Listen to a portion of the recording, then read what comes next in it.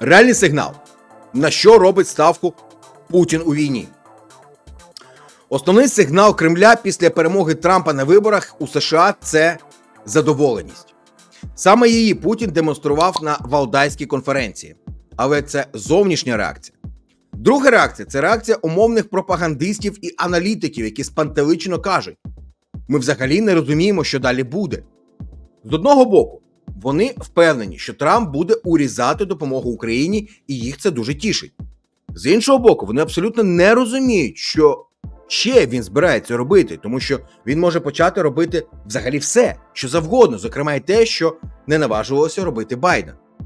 Трамп це енергетичний лобіст, тому він може серйозно вдарити по російських скрапленому газу та нафті, щоб їхнє місце зайняли африканські нафта і газ. Це не складно, було бажання. Раніше адміністрація Байдена не хотіла високих цін на нафту та газ. А для Трампа навпаки це вигідна ситуація. Бо що вищі ціни, то легше на ринки світу зайде американський газ, який не найдешевший, і американська нафта. На кого в оточенні Трампа Росія робить ставки у Вашингтоні, поки рано судити, але очевидно, що сподіваються на Ілона Маска. Він зідзвонювався з Путіним протягом останнього року кілька разів. Дуже чітко говорить про те, що треба скорочувати підтримку України. У цьому сенсі сподівання Росії найімовірніше хибні. Маск робить ту саму помилку, яку робив російський олігарх Борис Березовський у Росії, коли він вважав, що обрав Путіна і може розраховувати на особливу увагу. Помилку, яку робив Ігор Коломойський в Україні, коли він вважав, що він обрав Володимира Зеленського, тому може посилювати свій політичний вплив. Відповідно, Маск вважає, що він обрав Трампа і має право на управління. Однак такі люди, як Путін або ж Трамп, можуть відчувати деяку вдячність, але тільки якщо ця вдячність не нав'язлива. А якщо людина нав'язливо лізе з тим, що їй треба цю вдячність демонструвати, ще й намагається втручатися в питання, які її не дуже стосуються, то навряд чи вона протримається довго. Реальні сигнали говорять про те, що Росія хоче перепочинку у війні. Найадекватніша з погляду економіки людина у російському керівництві, глава Центробанку РФ Ельвіра Набіуліна, чітко дає зрозуміти, що російській економіці серйозні проблеми. І, друзі, це надовго. Російський великий бізнес просить від Кремля зафіксувати курс валют для зовнішньої торгівлі. Це ознака того, що у них виникають серйозні проблеми з експортом, що прямо впливає на бюджет. І найголовніше, що зараз час якраз підбивати підсумки першого півріччя перебування на посаді міністра оборони Андрія Білоусова, економічної людини, яку поставили туди, щоб вона збудувала мобілізаційну економіку і заощадила на війну якомога більше грошей, і таке відчуття, що нічого з цього вона зробити не змогла. Крім того, що ми бачимо інші ознаки складнощів в економіці. Звужується ринок праці. Росії катастрофічно бракує кваліфікованих робочих рук і некваліфікованих теж. Російський ринок перегрітий. Створена була фактично замкнута система, в яку приходили гроші від усіх, хто намагався вивести їх з європейських ринків. Десятки мільярдів, які до цього йшли назовні Росії, почали всередині Росії залишатися. І все це пішло прямо або побічно на підтримку війни, тому що це єдина підтримувана владою активна галузь. Ця галузь вібрала як губка в себе все, що можливо, але далі спрацював так званий принцип граничної корисності в економіці. Ця галузь не може виробляти більше і не може абсорбувати більше грошей, ніж її здатність. Її неможливо розширити.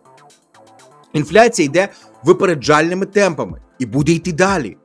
Хай хто б що там не робив, Центробанк у нього жодних інструментів, крім підвищення облікової ставки, вже не залишилося. І на 2025 рік прогнозується нова банківська криза. Наймовірніше, її не допустять. Але це означає, що будуть знову закривати превентивно банки, і на ринку до кінця 2025 року залишається буквально кілька великих, фактично державних банків, і все. Відповідно, вільний ринок у банківській сфері Росії закінчиться, а економіка російська так успішно реагує на санкції і на те, що відбувається, тільки завдяки тому, що вона стала дуже ринковою порівняно з радянською. Відповідно, чим менш ринковою вона стає, тим більше у неї наростають проблеми. У депресивних регіонах деякий час зростали зарплати, але до другої половини 2024 року їхнє зростання, зростання зупинилося. Тобто криза очевидно наростає. У Путіна є кілька причин, через які йому логічно піти на переговори. Перше, найпростіше, він нічого від цього не програє. Шансів на те, що його примусять до якихось умов угоди, яких він не хоче, немає. Поки російська армія, нехай навіть із жахливими жертвами і по кілька кілометрів, але наступає він природньо, і це психологічно зрозумілий момент, не погоджуватиметься ні на які поступки. Жоден економічний прогноз не свідчить про те, що в Росії просто зараз настане крах, то йому і боятися всерйоз нічого. Соціальний бік теж Путіну підконтрольний, і очікувати, що рідне йому населення спину вдарить, не доводиться. Відповідно, він на поступки не піде. Отже, чим би не завершилися ці переговори, він нічого не втратить, але скоріше за все, щось та й вигадає. Що він хоче вигадати? Зрозуміло.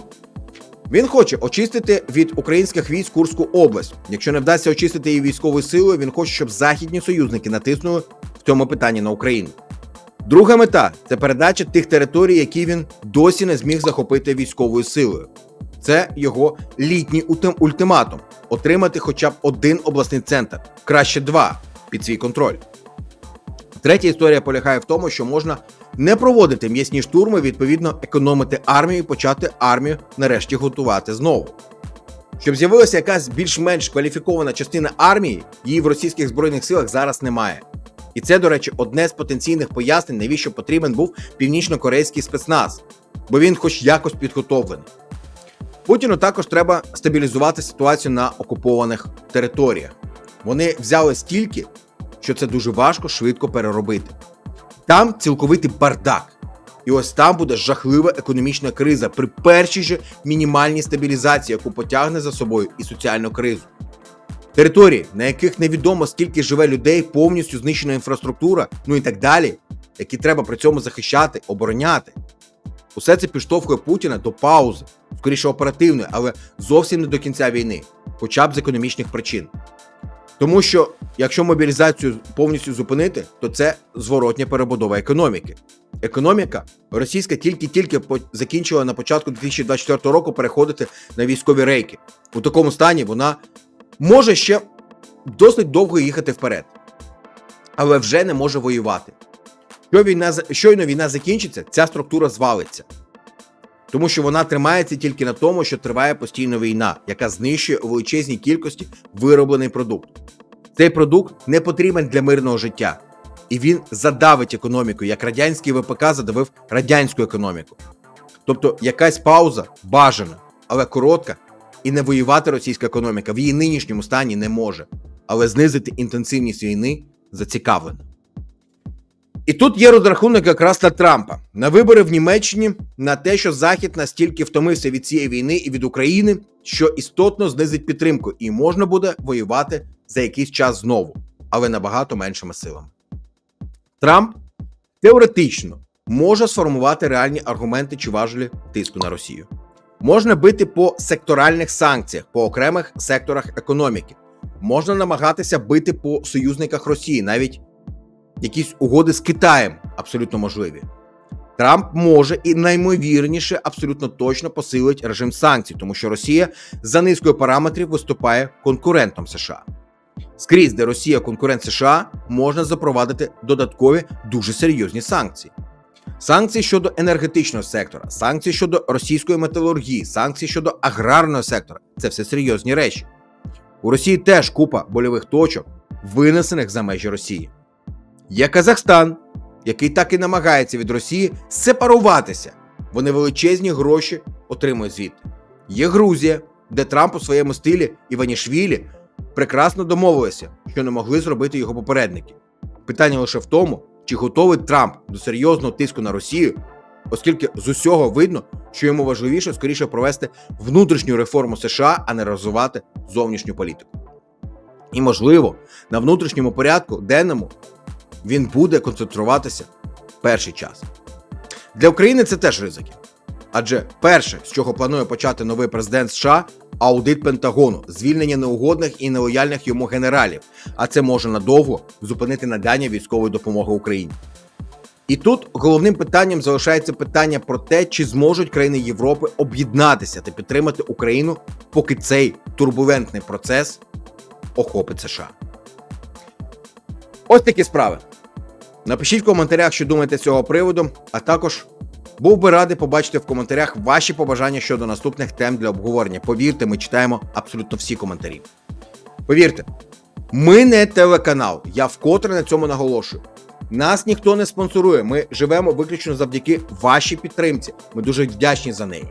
Як бачите, у нас немає шикарної студії з купою лампочок, підсвітки і дорогущої апаратури. Я сиджу перед звичайною веб-камерою. На мене світить зараз звичайне кімнатне світло. Ми майже цілодобово, 24 на 7, відслідковуємо всі новини та події, аби зібрати їх вкупу, аналізуємо їх та в доступному вигляді вже подаємо вам. Тому, якщо вам не складно, ми були б дуже вдячні за поширення наших відео у соціальних мережах. Я дякую всім вам за довіру, нашому каналу, каналу Newsroom. Не забудьте поставити вподобайку цьому відео, підписатися на наш канал, якщо ще не підписані. Ми спостерігаємо таку тенденцію, що частина з тих, хто дивиться наші відео, не підписані. Тому, будь ласка, зробіть це буквально просто зараз. Якщо у вас є бажання і, звичайно, що можливість, ми будемо вдячні за фінансову підтримку нашої роботи. Посилання на банку є в описі до цього відео, і ось ви номер банки бачите зараз на ваших екранах. Ну і на завершення традиційно. Слава Україні! Слава силам оборони! І пам'ятайте, що принесло вчора, живіть сьогоденням і вірте в майбутнє своє та країни.